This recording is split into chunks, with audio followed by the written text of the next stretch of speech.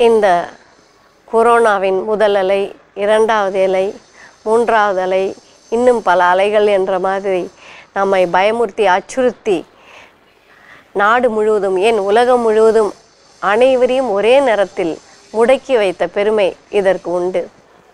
இந்த முடக்கத்தால் இன்று நம் வாழ்வின் நிலைகளில் பார்க்கும் பொழுது பார்த்தீங்கன்னா ஒவ்வொரு நிலையிலையும் மாணவர்கள் உட்பட குழந்தைகள் உட்பட பெரியவர்கள் வயதானவர்கள் என்று எல்லோருடைய மனநிலையிலும் மாற்றங்கள் ஏற்பட்டிருக்கிறது. அந்த மாற்றத்தை நாம் எப்படி எதிர்கொள்வது அதற்கு என்ன வழி என்று இன்றைய மனம் மலரட்டும் நிகழ்ச்சியில் மூலம் நாம் காண இருக்கிறோம் அனைவருக்கும் இனிய வணக்கங்கள்.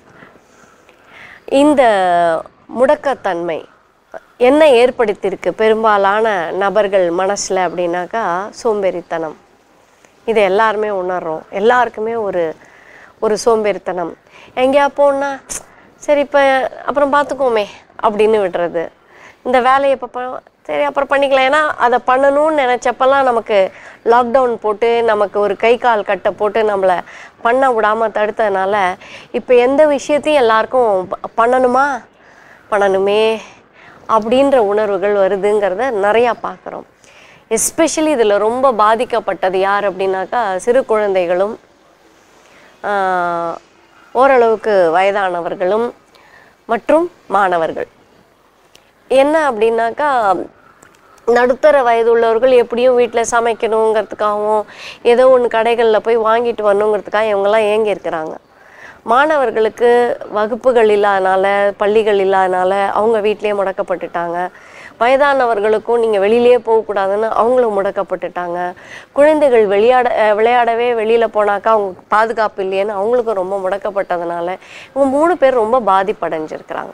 அதில் முக்கியமாக வந்து மாணவர்களுடைய நிலைப்பாட்டை பார்க்கும்போது ஒவ்வொரு நாளும் இந்த சோம்பேறித்தனத்தினால ஒரு காரணம் சொல்லி விடுமுறை எடுக்கக்கூடிய சூழ்நிலைகளை பார்க்குறோம். ஸோ இந்த சோம்பேறித்தனம் நீங்குவதற்கு என்ன பண்ணலாம்? ஏன்னா நான் என்னால் எக்ஸ்ட்ரா எஃபர்ட் என்னால் போட கூட முடியல. நான் நினைக்கிறேன் இப்படி பண்ணணும்னு நினைக்கிறேன் நான் மாற்றிக்கணும்னு நினைக்கிறேன். பட் என்னாலையும் பண்ண முடியல. அப்போ என்ன சப்போர்ட் சிஸ்டம் இந்த பிரபஞ்சம் இந்த கடவுள் நமக்கு வழங்கியிருக்கிறாரு அப்படின்னாக்கா மலர் மருந்தில் ஸ்க்ளிராந்தஸ் அப்படின்ற மருந்து. ஸ்க்ளிராந்தஸ் எழுதி வச்சுக்கலாம் நீங்கள் இந்த ஸ்க்ளிராந்தஸ் மருந்தை நம்ம வாங்கி அது ட்ராப்ஸாகவும் இருக்கும் ஹோமியோபதி மாத்திரை மாதிரி உருண்டை சர்க்கரை உருண்டைகளாகவும் இருக்கும். ட்ராப்ஸாக வாங்கிக்கிட்டீங்க அப்படின்னாக்கா ஒரு லிட்டர் தண்ணி எடுத்துக்கிட்டு அதில் ஃபைவ் டு செவன் ட்ராப்ஸ் அதில் போட்டுட்டு அந்த தண்ணியை குடிக்கலாம் நீங்கள் குடிச்சிக்கிட்டே இருக்கலாம். ரெண்டு ட்ராப் உங்கள் தலை உச்சியில் கூட நீங்கள் போட்டுக்கலாம். இந்த ஸ்கிளிராந்தஸை தொடர்ந்து எடுத்து வர சோம்பேறித்தனத்தை நீக்கணும். ஏன்னா இந்த சோம்பேறித்தனம் என்ன ஆகுதுன்னா செய்ய விடாமல் செய்ய விடாமல் இது பண்ணோன்னே மூளையிலையும் சில மாற்றங்கள் வந்து மூளையிலையும் அந்த சோம்பேறித்தனம் மண்ட துவங்குது அப்படிங்கிறாங்க.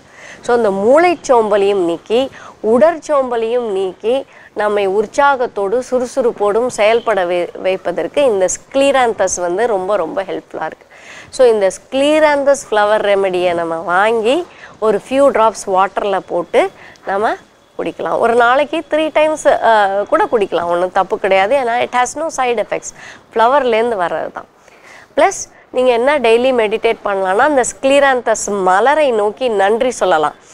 அந்த மலருக்கு ரொம்ப நன்றி. அந்த மலரை நினச்சி கொஞ்சம் தியானம் பண்ணி உன்னுடைய தெய்வீக குணம் எனக்குள்ளே வந்து சேரணும் அப்படின்னு நீங்கள் நினைக்கும் பொழுது இன்னும் ஒரு எப்படி சொல்கிறது எக்ஸ்ட்ரா எஃபர்ட் மாதிரி தான் டபுளாக நமக்கு வந்து ரிசல்ட் கிடைக்கும். மருந்து மூலமாக நம்ம எடுத்துக்கிறோம். அது மட்டும் இல்லாமல் எண்ணத்தின் மூலமும் மூலமாகவும் தியானத்தின் மூலமாக அதை அந்த உணர்வில் அந்த தெய்வீக குண குணத்தை ஏற்றுவதன் மூலம் மிக விரைவாக இந்த மனமாற்றம் அதனை பெற முடியும் என்று கூறிக்கொண்டு இந்த நல்வாய்ப்புக்கு நன்றி கூறி விடைபெறுகிறேன். நன்றி வணக்கம்.